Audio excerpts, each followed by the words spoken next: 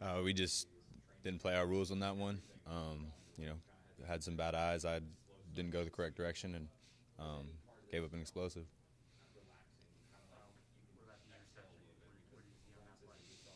Uh, we just I'm just skating in the post and uh, you know uh, it was overthrown ball and we, we got to make the most of any time there's a tip or overthrow.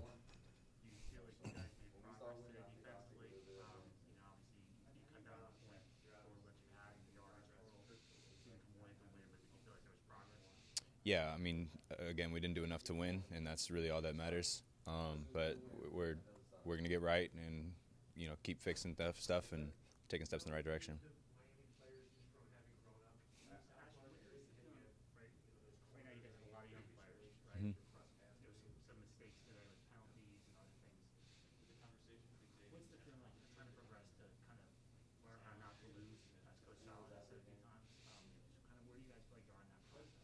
Um, I think a big thing is not making repeat mistakes. So you know, if other people make a mistake or you make a mistake, you got to learn from it and not, you know, continue to go through those growing pains of uh, making the same mistake.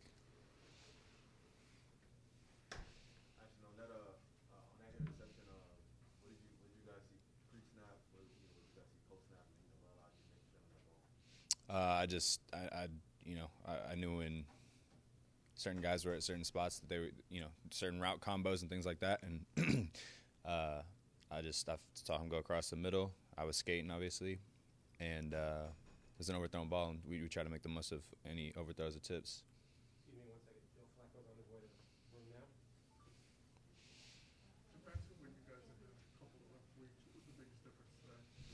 Uh, just trying to be on our details, you know, limit explosives and um, just basically be on our details. That, that's the biggest thing for us. Thank you. Thank you, guys.